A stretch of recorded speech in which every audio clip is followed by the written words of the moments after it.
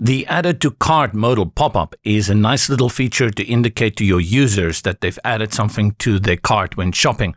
It works like this we go to the shop, select the product, and once we click on add it to the cart, this little pop up appears here in the bottom right corner showing you the product as well as giving the shopper the opportunity to add related products to their cart. Let's talk about how you can do this in WordPress using the Blocksy theme.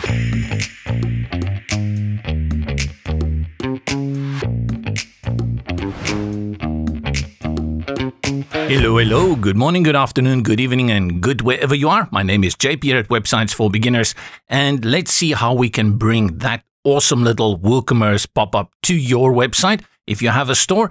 And I think it's a great way to show the shopper that they've added something to their cart. And of course, you are showing them some other products that they can also add. I love it. It's a nice little visual cue that gives them some idea of what's going on. How are we going to do that? This is a pro feature and it comes with the Blocksy theme premium. You can check out the link in the description below. Let's go into WordPress and see how we do that.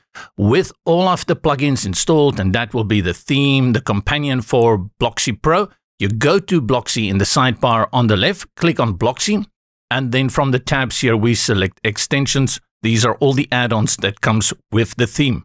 There are so many pro extensions, especially this one, the Shop Extra. This is everything to do with WooCommerce. You're going to see when I click on it, and this little green dot is an indicator that some of these modules have already been activated because I'm running an awesome WooCommerce store. Click on Shop Extra and then scroll all the way to the bottom or where you see Added to Cart pop-up. Let's switch it on for extreme shopper experience and then you can customize it directly from this little box. But I'm not going to click on this one because this will take you directly to all the settings.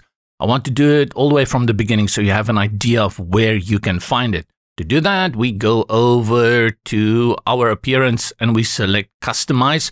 And you know you can access the customizer from so many places. This is just one of them.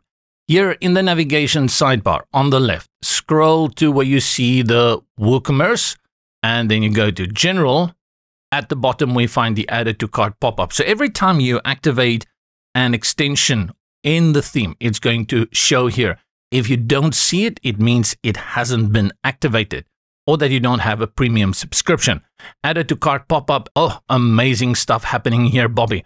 First, let's add something to the cart so we can style it out. I'll go to shop and then we add one and I'm going to choose one here by the filters that has many products. We have this body, and there are six products in that. Let's select this one. Clo clove, clove tonka parfum. I guess it's perfume. And then click on add to cart. And this is going to give us that little pop-up again. Very nice. Quick look at what this pop-up is all about. It says success, you know, your product has successfully been added, and then it gives the product plus price and a cart total. This is really cool. So if you are shopping a lot and you have like a budget you are working with, it's going to really help the visitor and the shopper to show them what is the current total so that they don't exceed their maximum. But what's also cool is that you have these related products here at the bottom. Now let's style it out. Start at the very top. The first thing you have is that you can choose where this pop-up will appear. If you have add to cart on the shop page or just on the individual pages, you can choose that. The shop page is the archive page and also your categories. I'll probably leave it on. And then, of course, the product page. Then you have image. If you need some real estate, you can untoggle this. I like the image, very visual. And you have the opportunity here to set the ratio. I like a one to one. Let's say you go to 16 to 9, and you can also change whether it is landscape or portrait. But let's go to one to one. And then you have image width here in percentage. Yep, that's percentage.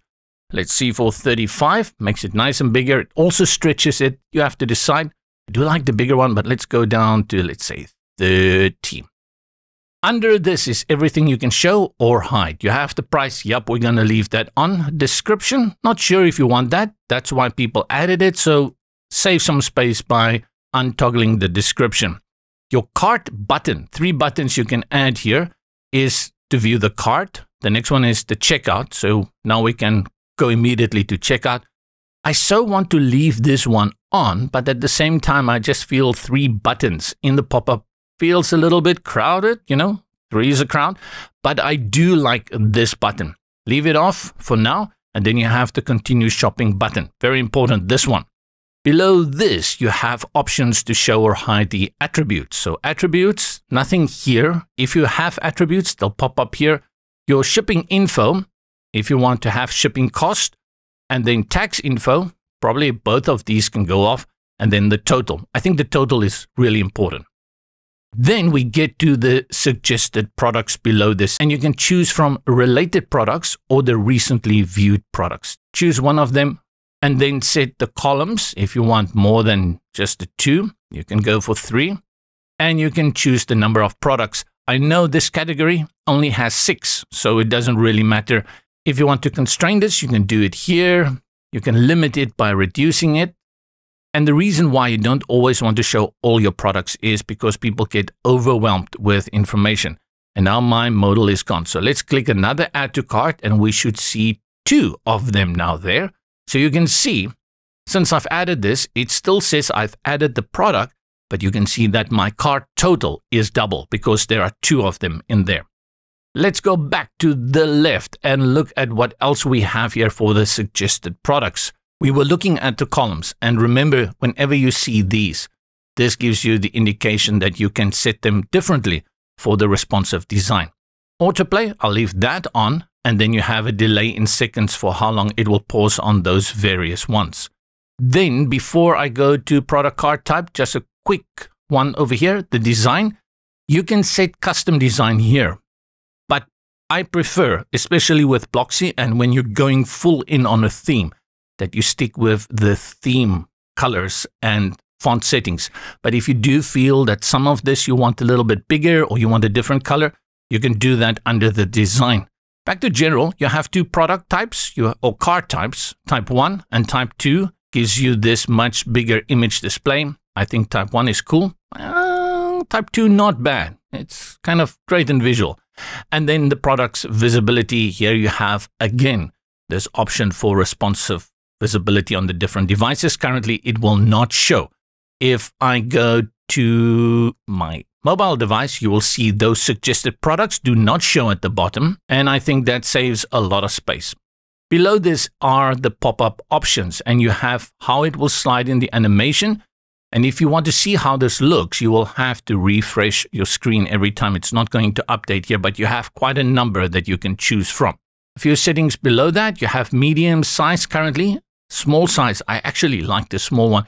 But I mean, if you're going to have this pop up, you may as well just go big, especially if you have those related products that you want to promote at the bottom. Then you have your pop up position. I really like it here in the bottom right, but there may be a reason why you want to drop it somewhere else. I think the two cases is probably the center and bottom right. That's what I would say where these two should go. And then the pop-up visibility, you can again select here on which of these devices they should show. And that's how this pop-up works. Awesome little extra feature. I'll just mention again the design here at the top. You have different areas for design, not only for the suggested products, but also for the general pop-up if you want to make those changes.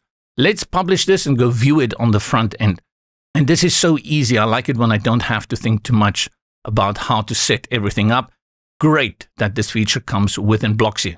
Hop on to the front, and it's getting a little chilly in here. Slowly, summer is approaching here. Yes, we're in the southern hemisphere over here. Let's go again to our shop and then select something different this time. Let's go to legs. Yeah, show them legs. Oh, yeah. And then Vringilla cream. Sounds like something from The Witcher. And let's add five of these. See how that will looks. Add to cart.